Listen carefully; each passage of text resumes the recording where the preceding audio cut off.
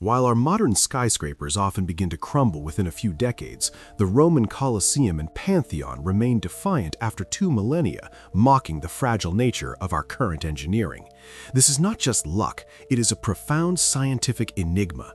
How did the ancients create a material that actually grows stronger with time, far surpassing the best concrete we can produce today? For centuries, the formula was a guarded secret, buried beneath the ruins of a lost civilization.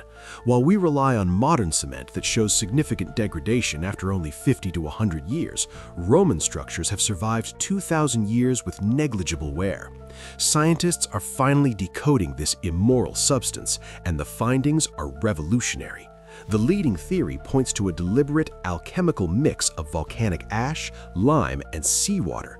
This combination triggers a unique chemical reaction that allows the concrete to self-heal, filling cracks as they form and petrifying the structure into an unyielding shield.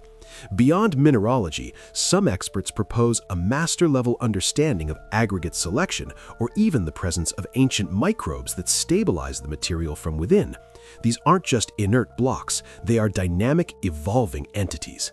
Unlocking this forgotten technology could reshape our future, offering permanent, sustainable solutions for our modern infrastructure. To unmask the full hidden formula of the Roman masters and see the forbidden evidence for yourself, watch the complete investigation on our channel.